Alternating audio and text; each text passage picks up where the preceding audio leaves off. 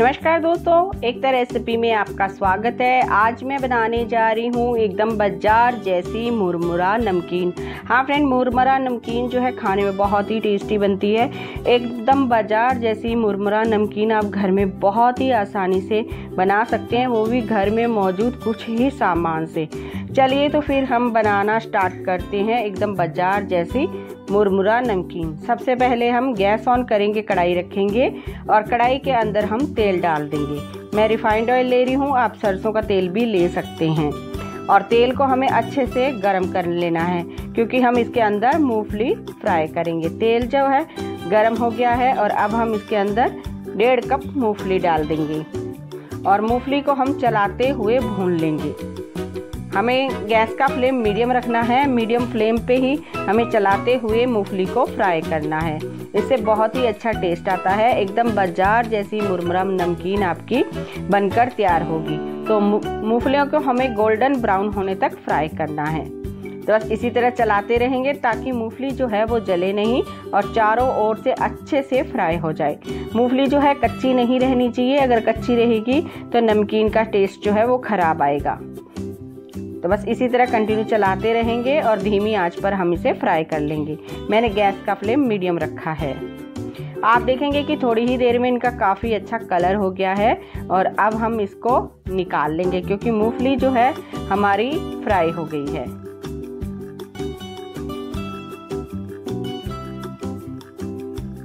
देखिए, मूंगफली जो है फ्राई हो गई है। अब हम इसे निकाल लेंगे।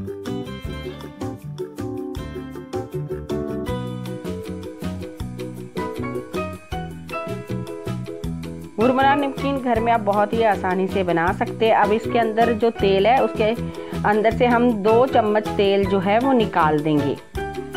देखिए, जो बचा हुआ तेल है ना, मूंगफली तो हमारी फ्राई हो ही गई है और ये तेल जो है काफ़ी ज़्यादा है नमकीन बनाने के लिए।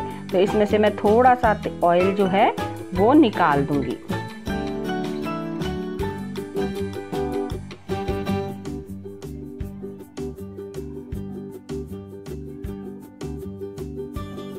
तो देखिए, तेल मैंने निकाल दिया है और अब हम इसके अंदर डालेंगे एक चम्मच राई। हींग डाल देंगे एक चौथाई चम्मच। हींग का फ्लेवर आप अपने हिसाब से कम ज़्यादा रख सकते हैं। साथ ही हम डाल देंगे इसके अंदर हम खूब सारा करी पत्ता। तो करी पत्ता जो है आपको बहुत सारा डालना है। इससे क्या फ्लेवर बहुत अच्छा आता है और करी पत्ता जो है हमारी हेल्थ के लिए काफ़ी अच्छा होता है। तो आधी चम्मच हम इसके अंदर डाल देंगे हल्दी पाउडर। तो मसाले आप अपने अकॉर्डिंग कम ज़्यादा रख सकते हैं। साथ ही हम इसके अंदर डाल देंगे लाल मिर्ची का पाउडर, एक चम्मच। तीखा आप अपने हिसाब से रख सकते हैं। नमक डाल देंगे स्वाद के अनुसार। गैस का फ्लेम एकदम लो कर देना है, या फिर आप गैस का फ्लेम बंद कर दे। काला नमक आधी चम्मच, जीरा पाउडर आधी चम्मच, चाट मसाला आधी चम्मच मसाले आप अपने टेस्ट के अकॉर्डिंग कम ज़्यादा रख सकते हैं। सभी मसालों को अच्छे से मिक्स कर देंगे। घर में मौजूद मसालों से ही फ्रेंड ये नमकीन जो है बनकर तैयार हो जाती है। अब हम इसके अंदर 500 ग्राम मुरमुरा डाल देंगे।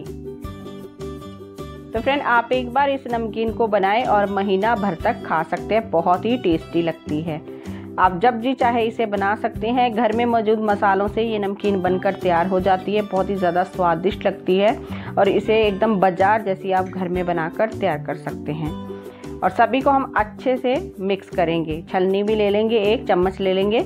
उसकी सहायता से इसे मुरमुरा के अंदर हमें मसाले बहुत ही अच्छे से मिक्स करने हैं ताकि सभी जो नमकीन के अंदर मसाले लग जाए और ये पूरी वाइट वाइट नहीं, एकदम येलो येलो दिखे। एकदम बाज़ार जैसी। एक चम्मच हम इसके अंदर पिसी हुई शुगर डाल देंगे। इससे हमारे मसाले जो है काफ़ी बैलेंस हो जाएँगे और खाने में टेस्टी लगेगी। तीखी भी नहीं लगेगी, खट्टी मीठी सी ये नमकीन हमारी बनकर तैयार होगी। तो इसे अच्छे से मिक्स कर देंगे। साथ ही हम इसके अंदर डाल देंगे फ्राई की हुई मूंगफली। इसे भी हम अच्छे से मिक्स करेंगे।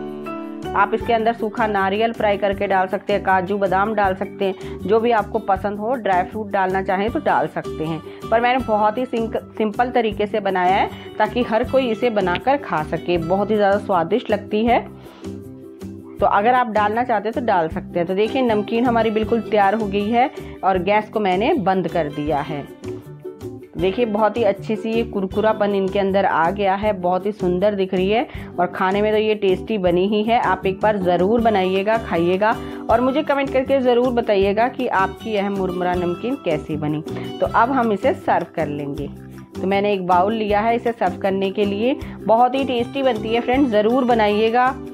आपको काफ़ी पसंद आएगी। तो इसे हम सर्व कर लेंगे। तो देखिए, हमारी नमकीन जो है बनकर बिल्कुल तैयार हो गई है। करी पत्ते से मैंने इसे डेकोरेट करा है। दिखने में ये बहुत ही सुंदर लग रही है। खाने में उतनी ही ज़्यादा टेस्टी है। आप बनाइए, खाइए, तभी आपको पता चलेगा कि ये नमकीन कितनी स्वादिष्ट बनी है।